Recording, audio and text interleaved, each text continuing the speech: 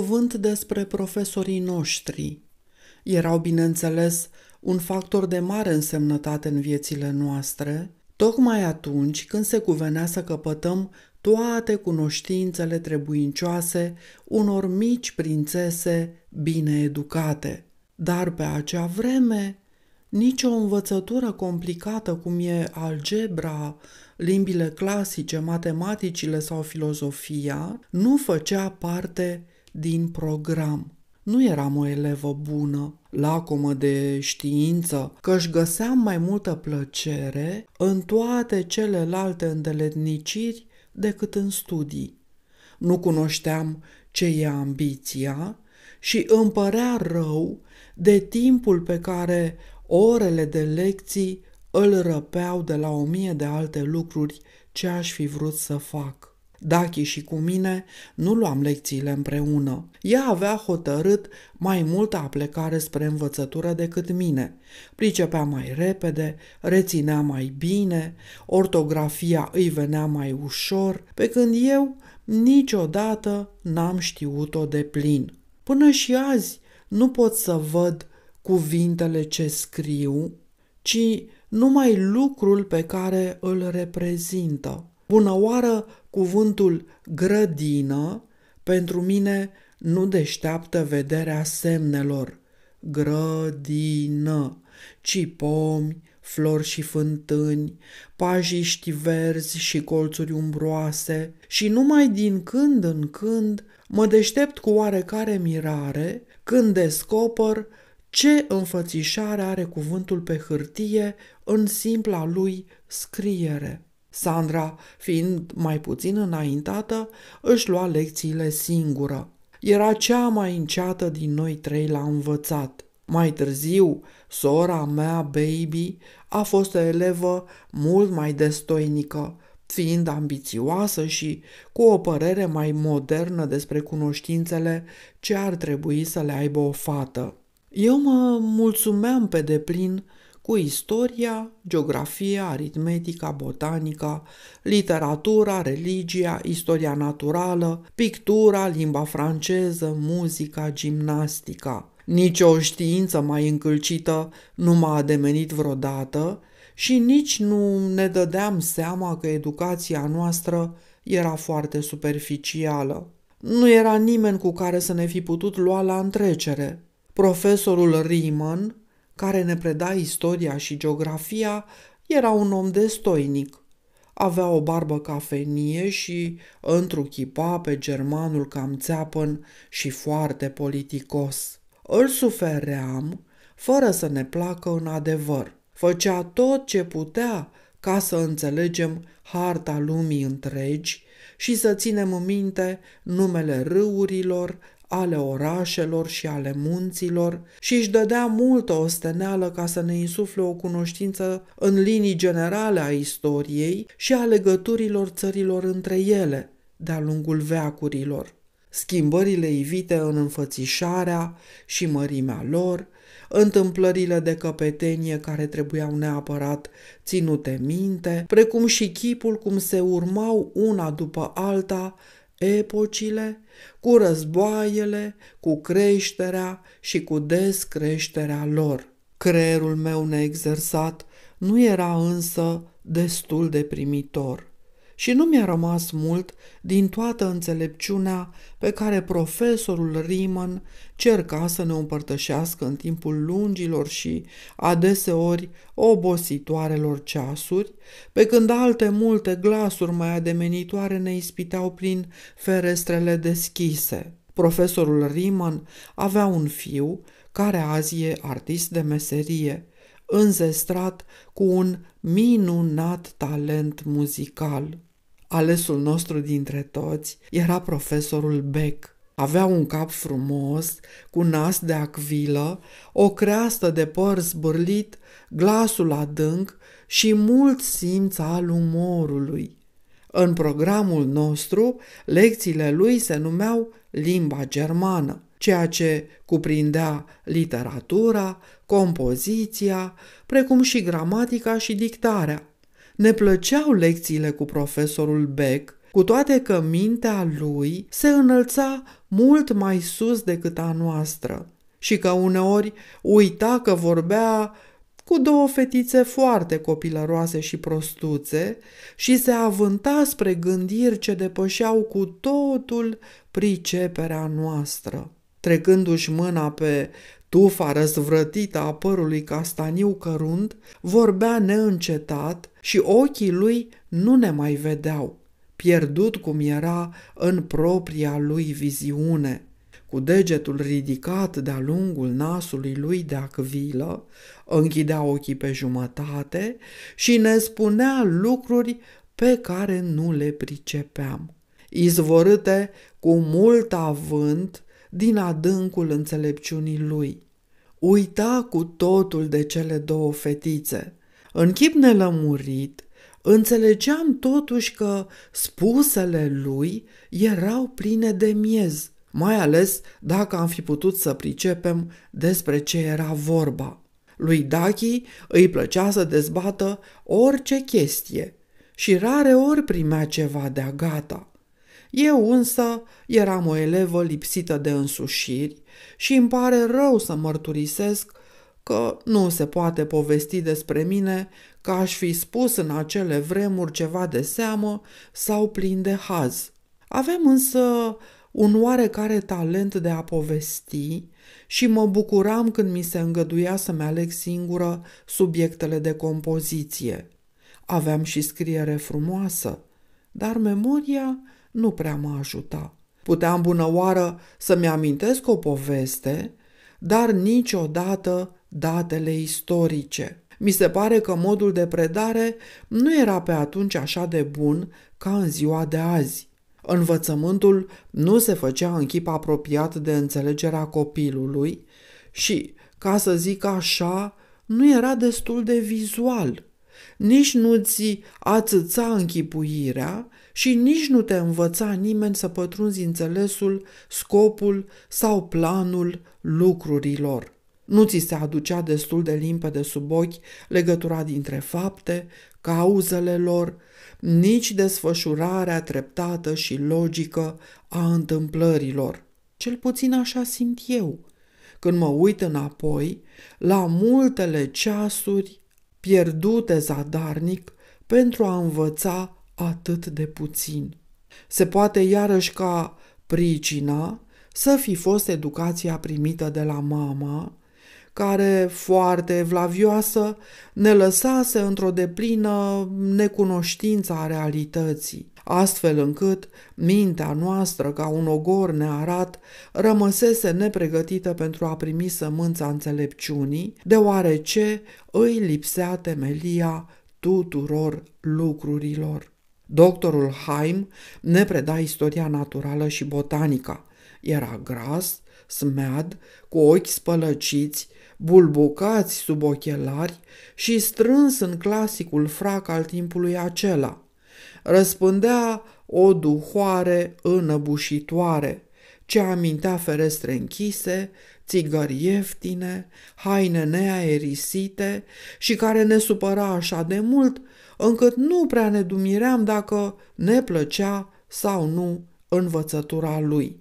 Aveam o groază înnăscută de orice descriere a organelor interne. Ni se părea că e ceva măcelăresc și nu prea cuvincios. Era chiar să ne vină rău într-o zi când, plin de însuflețire, doctorul Haim ne aduse un ochi de bou ca să ne arate minunile alcătuirii lui optice. De bună seamă, nu eram deloc din școala modernă, care, fără sfială, cercetează toate amănuntele mecanismului omenesc.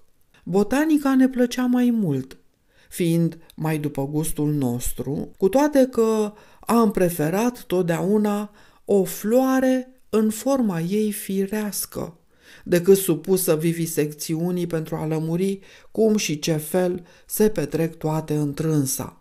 Bietul profesoraș Neumann, care ne preda matematica, trecea prin clipe mai grele decât toți ceilalți. Socotelile și cifrele, adunările și scăderile, regula de trei și toate celelalte părți ale acestui încălcit învățământ era un chip fundamental străine de firea mea, oarecum romantică și ușuratică. Barba castanie închisă a profesorului Neumann contrasta ciudat cu obrajii lui trandafirii ca porțelanul. Monsieur de Chec, succesorul grasului, bunului și îngăduitorului Eduard de Morsie din timpul fericitelor zile de la Osborne, era al doilea preceptor al lui Alfred și ne învăța franțuzește. Era un tânăr sclivisit, cu haine foarte bine croite. Îl plictisea faptul că eram atât de copilăroase și nici nu ascundea cât îl furau gândurile, căci Monsieur de Shrek era latin din creștet până în tălpi și îndrăgostit de singura femeie bine îmbrăcată din tot Coburgul. Această ademenitoare domnișoară, fica superintendentului grajdurilor ducale, avea tulburătorul obicei de a porni la plimbare prin piața palatului, tocmai în timpul lecției noastre de limba franceză. Simțind o tainică simpatie pentru dragostea tânărului nostru profesor, noi ghiceam, după vădite semne de neliniște ale lui, că se apropia o anumită oră se scula de pe scaun, umbla de colo-colo cu ochi cruciși înspre fereastră, pe când se străduia să ne facă obișnuitul dictat. Tânăra cu pricina ne atrăgea și dânsa luarea minte. Netăgăduit era plină de șic. Ne dam seama însă că nu era o persoană cu care ai fi putut vreodată intra în legături, deoarece prinsese rădăcină în societatea indezirabilă de la curtea ducelui Ernest. Pictura și muzica ne erau predate de două respectabile bătrâne domnișoare, cât se poate de deosebite una de alta, Fräulein Anna Messing și Fräulein Helferich. Aceasta din urmă izbuti să-mi dea o cunoștință temeinică a principiilor desenului, pentru care îi sunt și astăzi recunoscătoare cu toate că metoda ei era strâmtă și învechită. Cunoștea regulile de temelie ale artei ei și anatomia unei flori chiar mai bine decât vrednicul domnul Haim. Era o bătrână cu duh mușcător și plin de ironie, avea nasul ascuțit și idei sociale înaintate. Cuprindea în firea ei însușirile unui adevărat democrat, fiind întrucâtva liber cugetătoare și părerile ei erau îndrăznețe într-o epocă în care democrația nu era încă la modă. Nu se închina în fața niciunei clase sociale. Ea a fost, de fapt, prima mea întâlnire cu Vox Populi. Bătrâna Ana Messing, din potrivă, iubea orice se atingea de regalitate și era bună cunoscătoare a almanahului de Gota.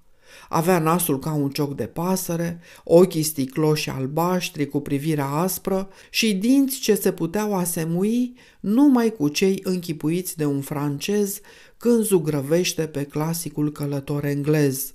Avea însă o răbdare de înger și își dădea o nemaipomenită osteneală ca să mă inițieze în tainele unei arte, pentru care nu eram înzestrată.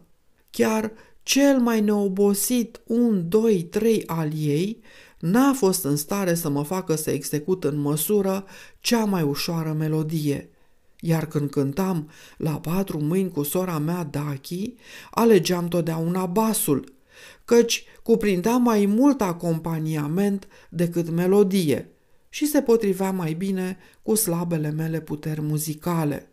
Asta nu înseamnă că nu iubeam muzica. Din potrivă, m-a mișcat în chip straniu de la începutul vieții mele. Cu toate că adevărata educație muzicală mi-a fost dată mai târziu de Carmen Silva, bătrâna regină a României dar în zilele copilăriei mele eram netăgăduit o mică sălbatică în ceea ce privește arta cea mai divină dintre toate. Preotul căruia îi se încredințase învățământul nostru religios era cu mult deasupra nivelului nostru. Pentru noi religia era un fapt, ceva de temei, iar nu un subiect de dezbateri teologice. Pe acea vreme eram cu totul nevrednice de vreo lămurire mai înaltă sau mai largă a acelui fapt. Sfânta Treime nu se putea cerceta. Crezul era credința noastră. Nu stam să cumpănim afirmările lui și ne simțeam foarte jignite când ni se spunea că Adam și Eva erau numai simboluri și că Dumnezeu nu făcuse lumea în șase zile. De bună seamă erau la noi deosebiri de credință ce nu se puteau înlătura. Noi fiind protestante, mama ortodoxă și aflându-se în afară de cercul nostru intim și catolici.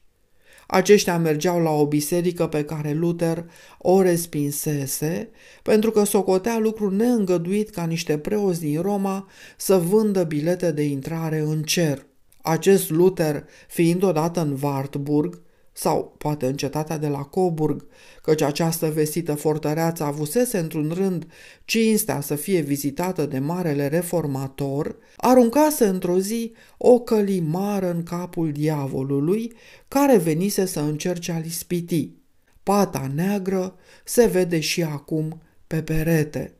Luther, desigur, avusese dreptate să intre în luptă cu Roma și cu greșelile ei.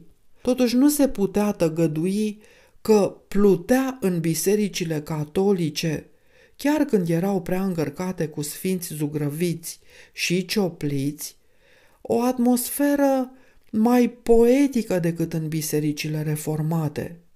Biserica mamei era pătrunsă de mister și te umplea de un fior neînțeles. Artistul din sufletul fiecăruia se desfăta la vederea icoanelor pe fond de aur. Tămâia îți turbura simțurile, iar altarul, ferit de ochii tuturor, te făcea să înțelegi că sunt unele revelațiuni ascunse de ochii noștri. E mai mult mister în bisericile nereformate. Ele ne atrăgeau și totuși ne păreau străine. În imnurile noastre engleze și în solemnele cântece bisericești germane răsuna adevărul și sinceritatea.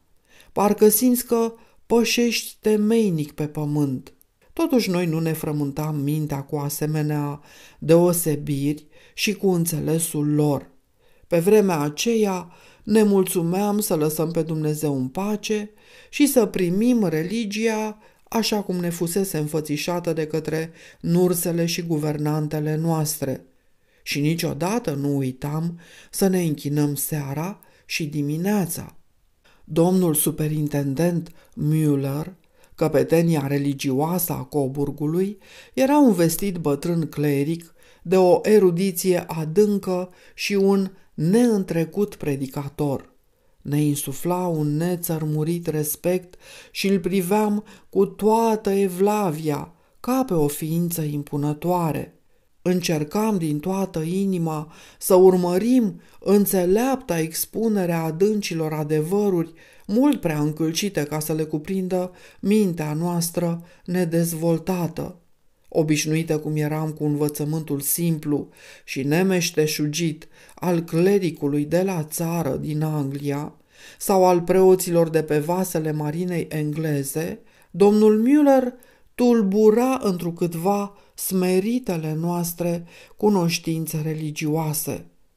Ca și profesorul Beck, ne fermeca cu vorba lui. Cuvintele lui păreau unaripate, ne plăcea muzicalitatea lor, dar obișnuit să vorbească din amvon, se avânta în sfere unde nu-l puteam urma. Îl ascultam ca vrăjite pline de uimire în fața înțelepciunii lui, însă eram mult prea sfioase pentru a pune întrebări sau a mărturisi că nu-l înțelegeam.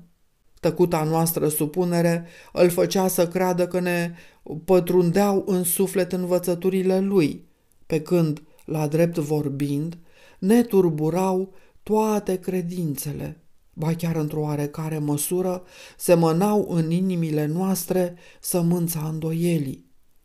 Îl priveam cu venerație, îl admiram, dar niciodată nu ne foloseam de înțelesul lecțiilor lui. Și mi-aduc aminte cum, dintr-un imbold nelămurit de apărare, îmi lăsam creierul cuprins de o izolare binefăcătoare, prin care mă feream de a primi vreun învățământ primejdios. Pe neștiute, cercam să-mi mențin vechile granițe, pricepând în mod subconștient că mintea mea nu era încă pregătită pentru adânca lui știință, pe care ne-o propovăduia cu cuvântări nepotrivite cu vârsta noastră. Totuși el ne duse până la confirmație, de care ne apropiam cu sufletul plin de evlavie adâncă, deși cam neluminată. Încercam să ne dăm seama de solemnitatea acestei taine și să fim vrednice de legământul cu care eram să o săvârșim. Dar în adâncul conștiinței mele simțeam cu durere că nu mă înfiorasem destul de misterioasa ei însemnătate.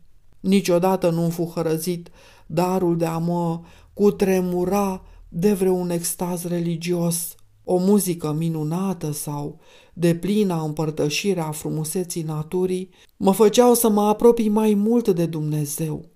O privire măreață, adânca tăcere a codrului, o grădină plină de flori, un strălucit apus de soare, deslănțuirea unei furtuni pe mare, îmi insuflau o mai limpede pricepere a celor veșnice decât oricare ceremonie bisericească.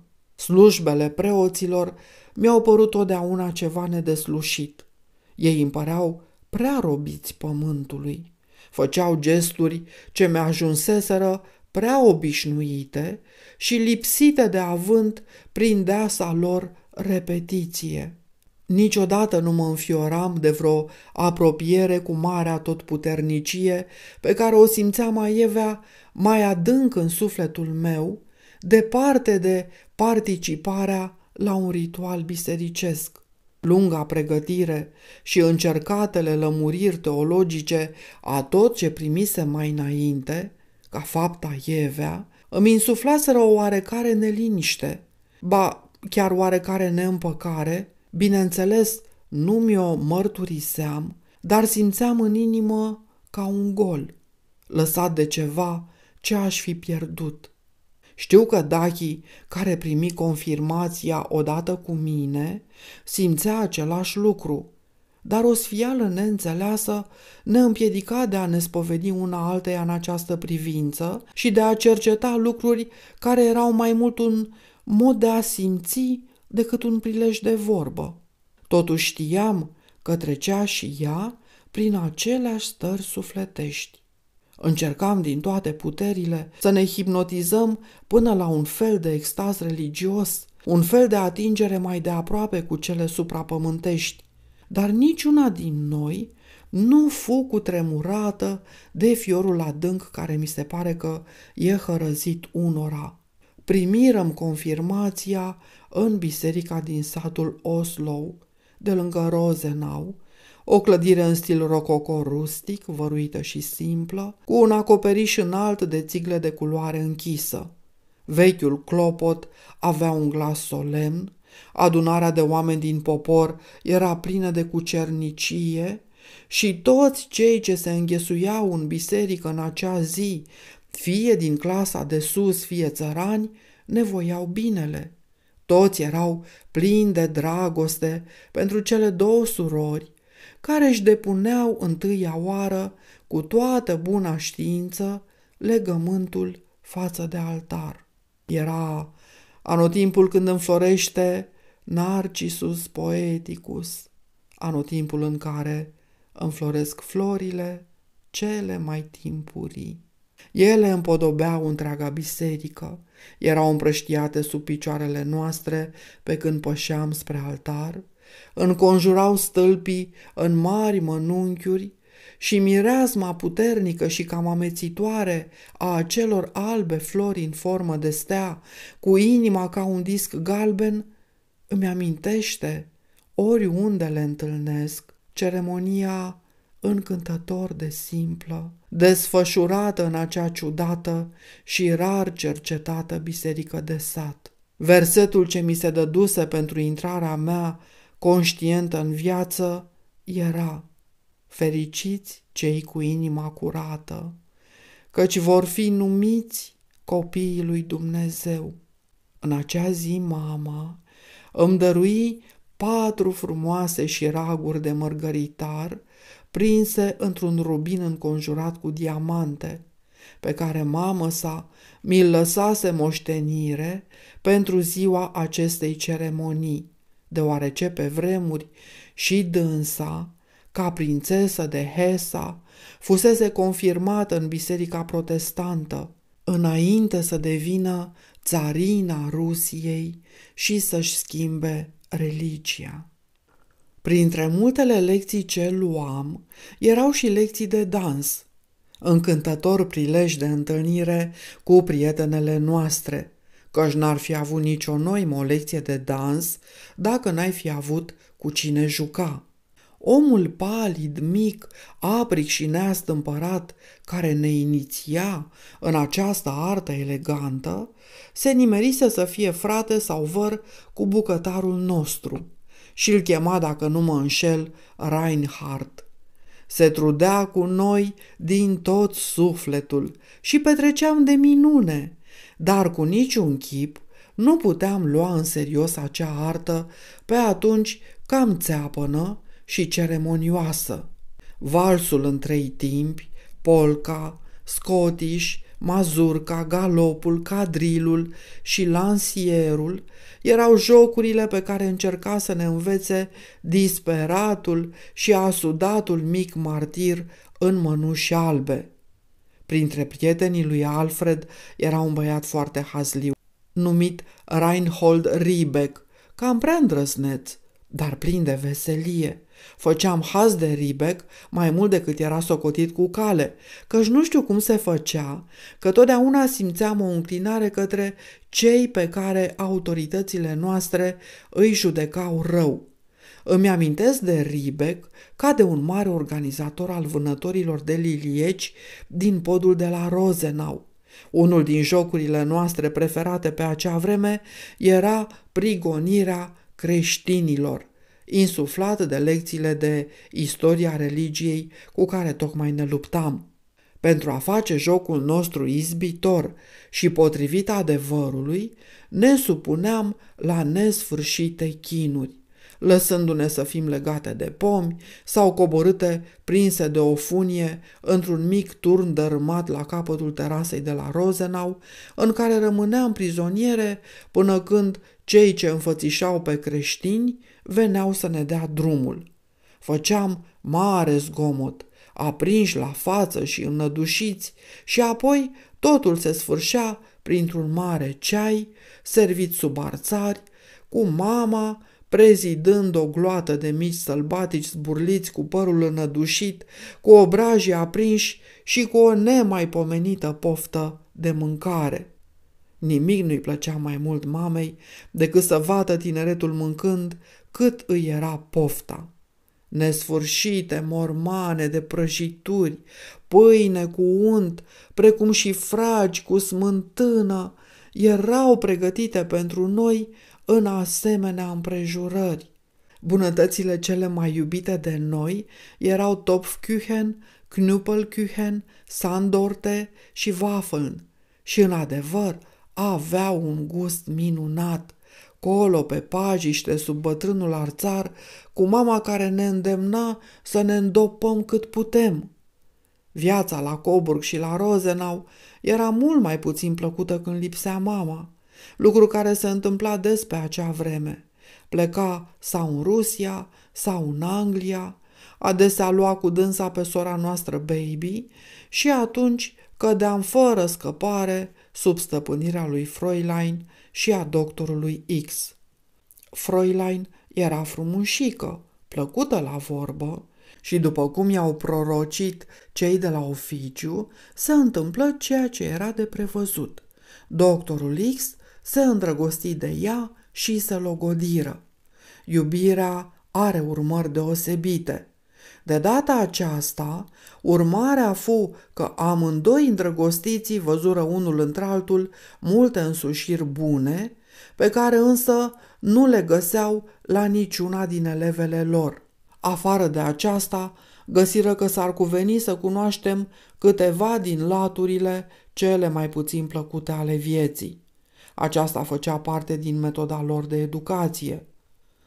După părerea lor, trăiserăm până acum o viață prea de tot fericită.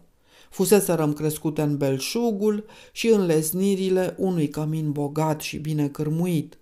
Acum își puseră în minte cu strășnicie să ne învețe că viața nu era totdeauna și peste tot așa de ușoară și de plăcută.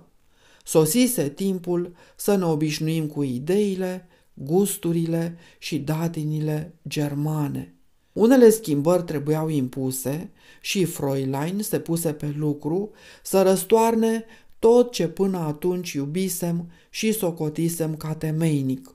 Nu știu pentru ce Fräulein, care pentru dânsa prețuia hainele frumoase și elegante, îi băga în cap mamei că ar fi bine pentru noi să ne învățăm a purta rochii urâte și pânza aspră în loc de rufăria subțire cât se poate de rafinată din Anglia, cu care fusesem obișnuite din timpul copilăriei noastre. Așadar, cămășile de noapte și rufăria de zi fură deodată preschimbate în pânzeturi groase, care ne supărau pielița simțitoare și răsfățată. Afară de aceasta, Froilan văzu îndată că ne plăceau, mie mai ales, culorile armonioase, țesăturile bogate și rochiile frumoase. Așadar, s-a găsit cu cale să se smulgă din noi orice slăbiciune pentru ceea ce ne desfăta. Ne siliră să purtăm rochii umilitoare și urâte, pălării și mantale, precum și încălțăminte rău croite. Cu un cuvânt, orice ne putea urâți într-un chip oarecare. Toate acestea erau pentru noi un adevărat chin. Sufeream aceste născociri cu o răzvrătire zbuciumată, dar tăcută, pe care doamna cu pricina, desigur că o înțelegea și de care se desfăta. Avea obiceiul uricios de a ne arăta mamei sub lumina cea mai dăunătoare. Fetele la acea vârstă trec prin clipele cele mai puțin vrednice de laudă și părinții trebuie să aibă multă răbdare față de ele. Dar Fräulein găsea toate prilejurile pentru a ne umili sau a ne face caraioase în ochii mamei, într-o mie de feluri neînsemnate, dar viclene și primejdioase. Afară de aceasta, deștepta și întreținea între noi tot felul de mici gelozii, și numai dragostea și înțelegerea noastră a putut păstra între noi neștirbite prietenia și camaraderia care ne legau. Cu cât mă gândesc la purtarea acestei Fräulein, cu atât o învinovățesc mai mult. Avea întrânsa ceva din Iago. Era dibace în insinuări și vicleană până la perversitate. Bună oară, ne ispitea prin convorbiri meșteșugite să punem întrebări asupra tainelor ascunse ale vieții și apoi se ducea să ne ponegrească în fața mamei ca pe niște fetițe necuvincioase, cu minte nesănătoasă, pe când ea era aceea care voia să ne turbure în nevinovăția cam amorțită, însă paradisiacă, în care mama vroia să ne păstreze. Era o uricioasă trădare și dacă ar fi putut mama să o ghicească, s-ar fi supărat adânc. Însă această pereche iscusită se furișase cu totul în încrederea și bunăvoința ei și noi nu ne mai puteam dezvinovăți, pe când toate poveștile răutăcioase despre noi și toate ponegririle căpătau crezare. Afară de aceasta, doctorul X întărea neîngăduința mamei față de tot ce era englez, într-un chip care până la urmă ajunsese vătămător. Dar toate acestea fac acum parte din trecut. N-am de gând să le redeștept. Și dacă am pomenit de ele, e pentru că au izbutit să ne turbure, ba chiar să întunece într câtva ultimii trei ani ai vieții mele de acasă. Desigur, creșteam și uneori supăram pe cei mari, căci pierduseră în farmecul copilăriei. Însă era vârsta de jertfă și sunt sigură că mama, dacă ar fi cunoscut adevărata firea răutăcioasei Fräulein, nu ne-ar fi încredințat îngrijirii ei. Una din întâmplările ce s-au ivit în timpul când uh, amândouă nesuferitele autorități erau unite împotriva noastră, trebuie să fie povestită pentru că e hazlie. Mama plecase în Rusia și perechea necăsătorită încă se cufunda în poezia dragostei lor, copleșindu-ne cu aceeași plictiseală cu care, desigur, o copleșeam și noi. Dintr-o parte și dintr-alta era o deplină lipsă de simpatie.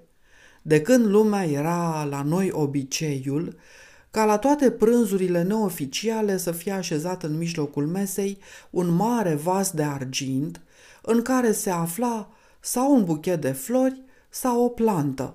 Această cupă, bine lustruită și așezată după moda engleză pe un mic piedestal albastru închis, era destul de înaltă și ascundea oricui persoana așezată în față. În lipsa mamei, Fräulein se așeza în capul mesei și domnul X la capătul celălalt. De când erau îndrăgostiți însă, vasul de argint plin cu flori împiedica perechea să schimbe priviri în timpul mesei. Răbdară această stabilă câteva zile, dar într-o zi domnul X, cu felul lui poruncitor, dădu ordin servitorului să ia vasul de pe masă. Răzvrătite cum eram noi împotriva tiraniei suferite de nevoie, dar nu de plăcere, toate necazurile noastre adunate găsiră deodată prilejul de a se dezlănțui și câteși patru ridicarăm o zgomotoasă împotrivire. Cupa fusese pusă pe masă de mama. Era dorința ei ca să rămână acolo și numai ea avea dreptul de a porunci să fie luată de la locul ei. Nu îngăduiam ca în lipsa mamei să se atingă cineva de ea. Era o datină și nu puteam sta la masă fără acel vas. De fapt, făcurăm un tărăboi nemaipomenit. La început, domnul X, deși mâniat, încercă să ia în râs răzvrătirea noastră și căută să ne arate cât de copilăroase eram și cât de fără noimă era nesupunerea noastră.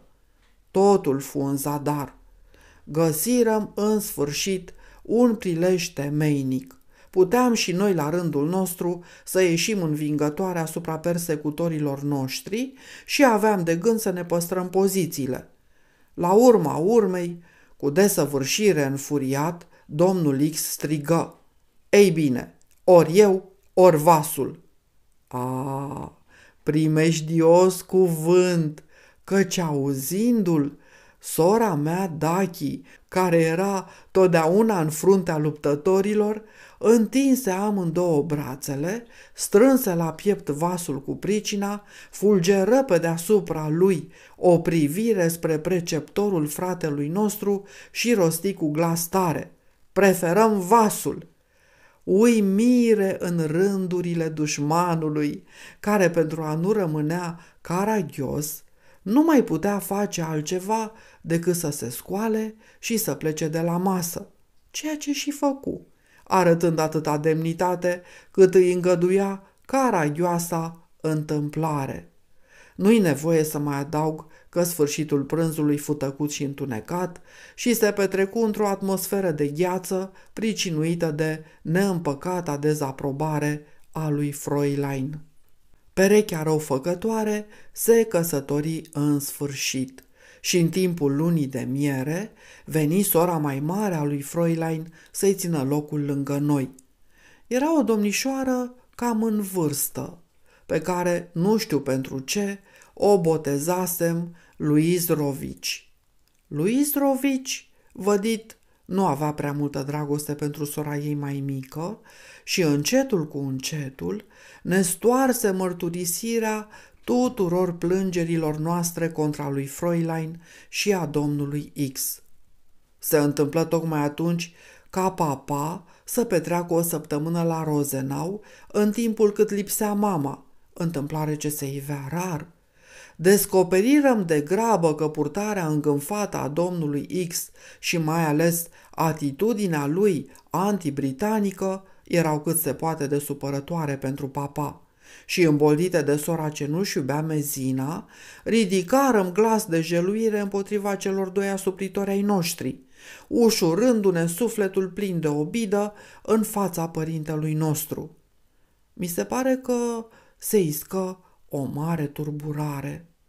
Tata era cât se poate de mulțumit să afle cum copiii lui urau acea pereche pe care el însuși nu o putea suferi și mi se pare că fura amândoi pentru un timp în primejdia de a fi izgoniți.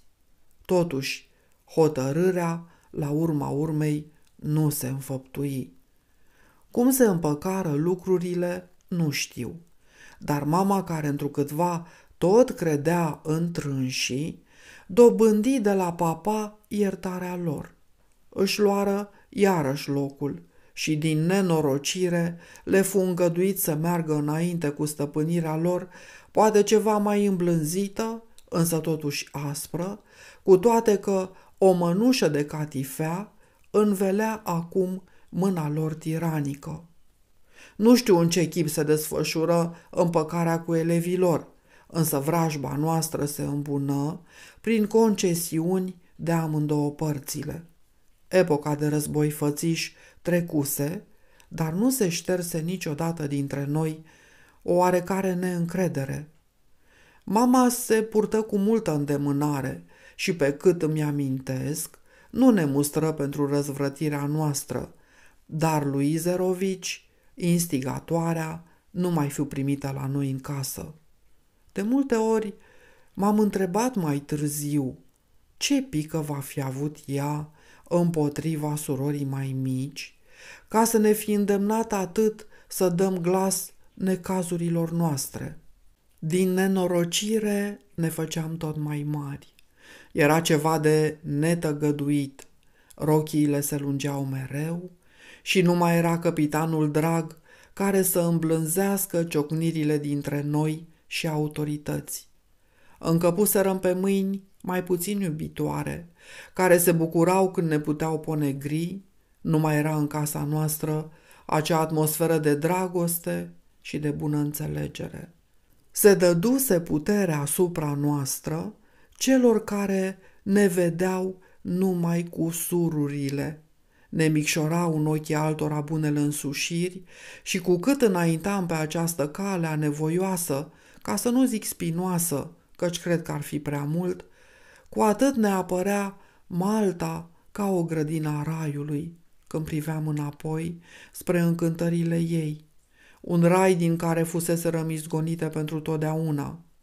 Fräulein, în pofida răzvrătirii noastre, rămăsese stăpână asupra garderobei și găsea cu cale și princios pentru sentimentele noastre morale să purtăm haine care, pe cât se putea, să nu ne prindă deloc și să fie întocmite cu desăvârșita lipsă de gust germană. Fräulein, îndată ce simțea care model și stofă ne displăceau mai mult, îndată le alegea pentru noi cu un fel de bucurie diavolească. Astfel îmi amintesc și acum de o dezgustătoare stofă verde, vărgată cu pătrate galbene, pe care am fost silită să o purtăm. Totdeauna am avut groază de stofe vărgate cu pătrate și aceasta era cea mai supărătoare ce își putea cineva închipui. Dacă Fräulein își pusese în gând să ne umilească, de bună seamă izbutise. căci această nesuferită îmbrăcăminte era în adevăr o pedepsire a deșertăciunii. Și apoi, stofa fiind foarte bună și trainică, nu dovedeam să o învechim. Revolta ne umplea sufletul, ori de câte ori eram nevoită să ne arătăm cu acele rochii și drept culme, vicleana femeie destăinuia mamei că eram supărate de urățenia lor. Mama ne necăjea, întrebându-ne dacă eram încântate de un costum atât de frumos. Jignire adăugată la necazul nostru. Aveam voie să mergem la teatru de două ori pe săptămână, mi se pare joia și duminica, căci în Germania nu e ca în Anglia, iar duminica e îndeopște ziua în care se merge la teatru. Aceasta ne plăcea mult.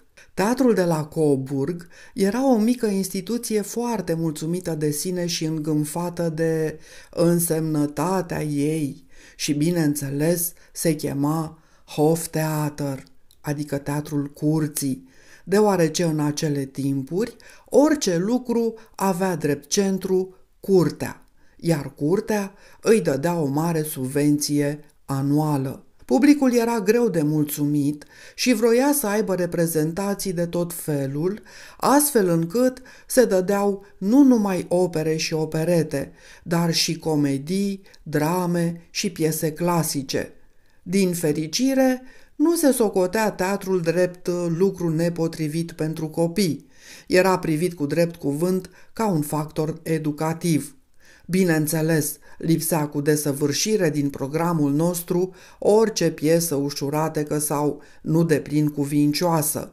Însă făcurăm cunoștință cu Schiller, Goethe, Shakespeare, Wagner, Bizet, Mozart, Verdi, Meyerbeer, Donizetti și câți alții, căci nicio operă nu se părea prea măreață pentru scena de la Coburg. Eram încă la vârsta la care ne plăceau mai bine opera, drama și clasicii decât comedia, dar mama prefera comediile la care râdea din toată inima. Fiorosul bătrân, unchiul Ernest, avea mare slăbiciune pentru teatru în toate formele lui și de câte ori se afla în oraș, se înființa întotdeauna în mica lui lojă lângă scenă, unde se înălța aproape amenințătoare, fenomenala lui grosime, într-un scaun anume construit pentru a-i primi și a-i purta greutatea anormală. Ne uitam la el de la locul nostru, cum s-ar uita cineva pe furiș la cușca celui mai înfiorător animal dintr-o menagerie. În antractul cel lung ne duceam în loja lui pentru a-i da bună seara și de obicei îl găseam fumând o țigară de tutun tare și de culoare foarte închisă. Și aici ne primea cu obișnuita exclamație de zgomotoasă bunăvoință și stam privind uimite la această arătare omenească fără pereche cu care nu ne puteam obișnui.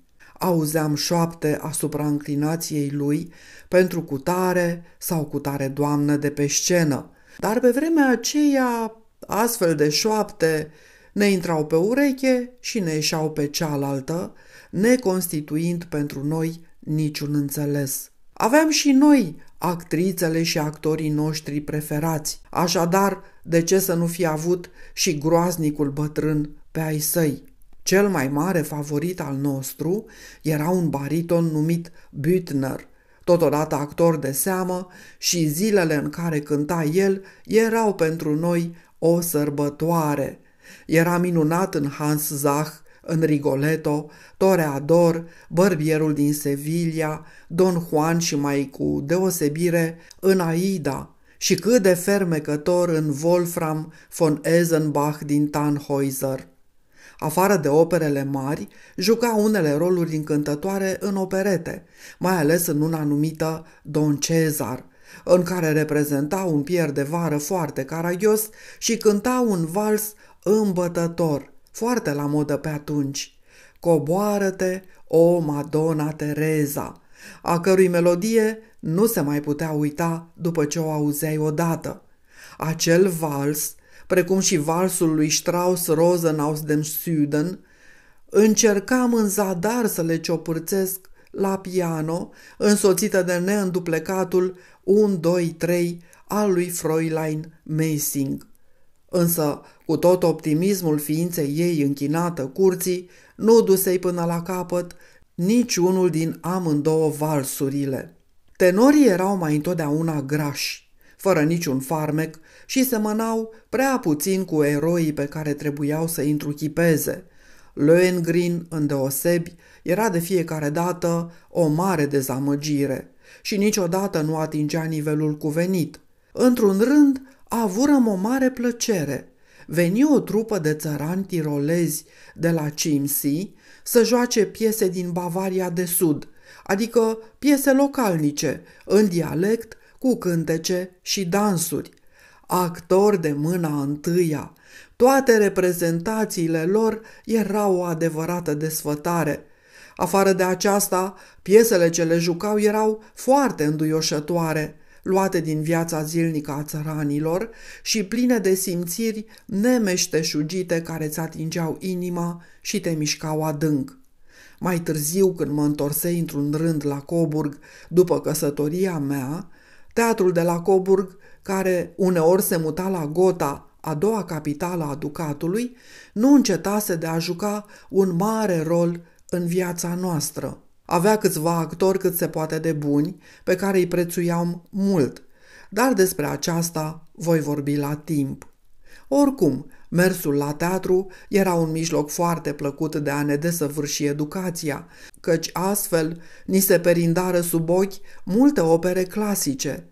Fecioara din Orleans de Schiller a fost cea din tâi piesă preferată de noi. Aveam o mare slăbiciune și pentru hoții, tot de Schiller, precum eram fermecate și de Egmont de Goethe, iar ceva mai târziu de Torquato Tasso.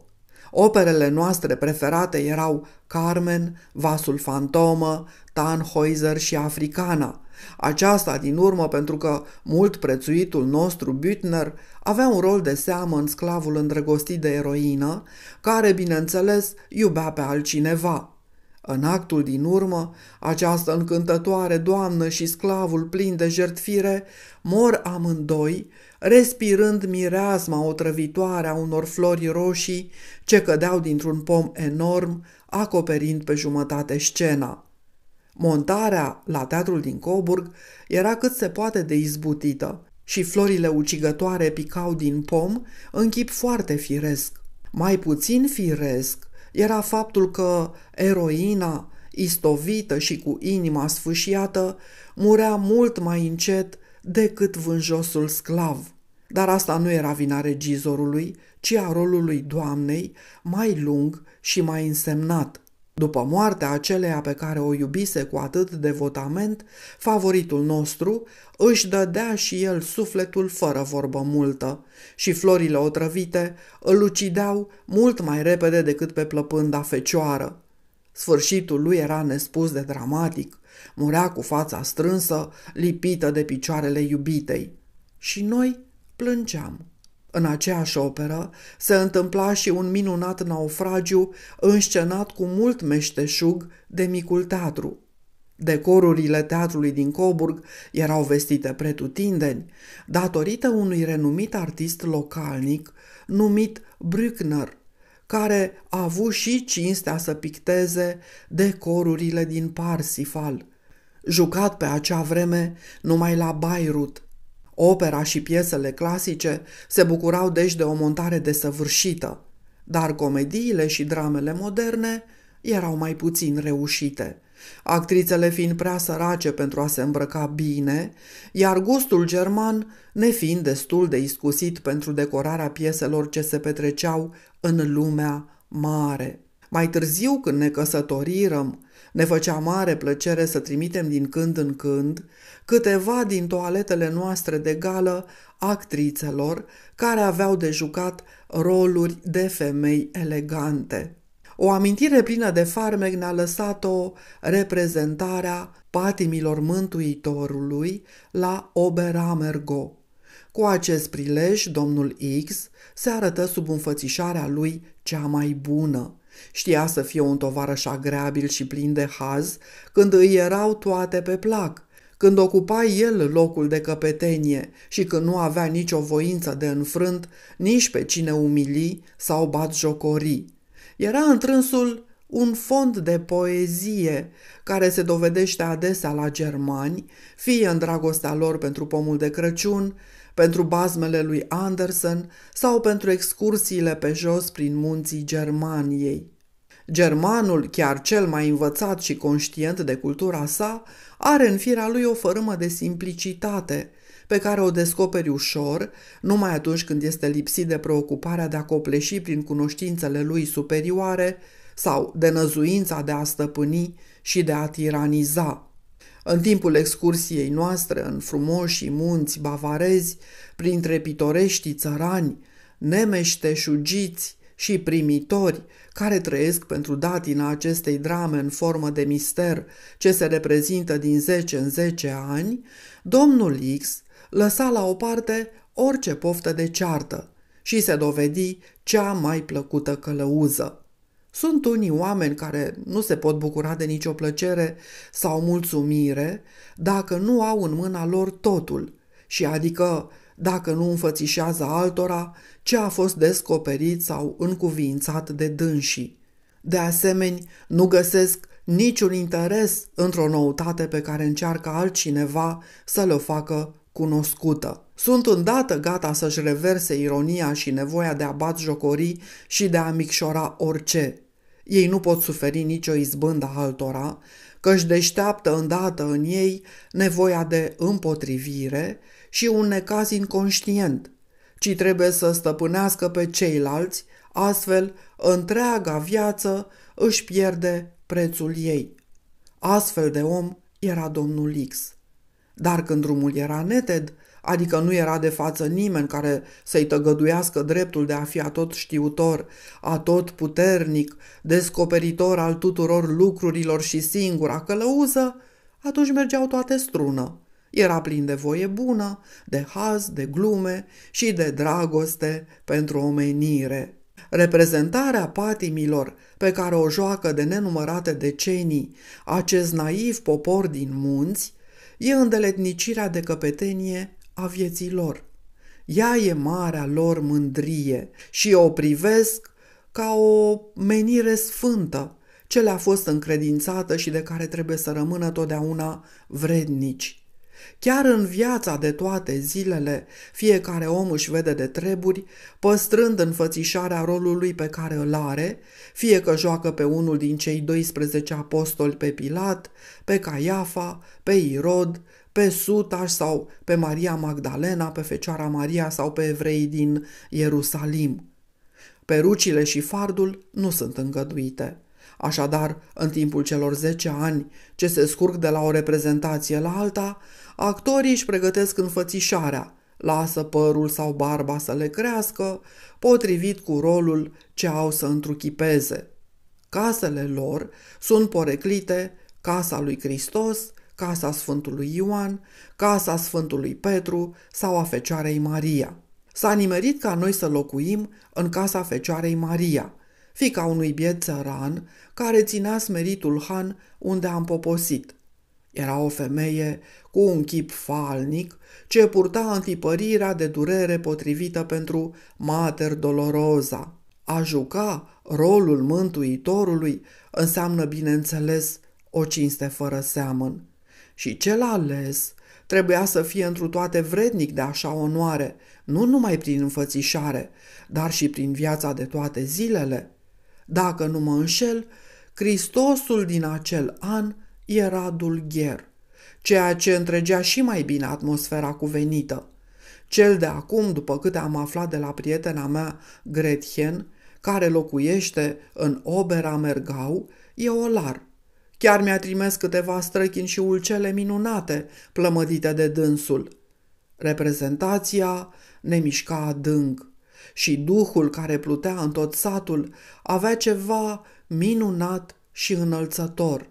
Afară de aceasta, satul el însuși era de toată frumusețea, cu pajiștile lui primăvăratece, pe de-a întregul acoperite cu flori de câmp. Domnul X, fiind în toane bune, știu cu multă îndemânare să mărească și să însuflețească înțelesul tuturor lucrurilor, astfel încât această excursie ne-a rămas întipărită în amintire ca ceva de neuitat și de nespusă însemnătate, ceva ca o viziune dintr-o altă lume mai curată, care ar năvăli deodată în viața noastră de toate zilele.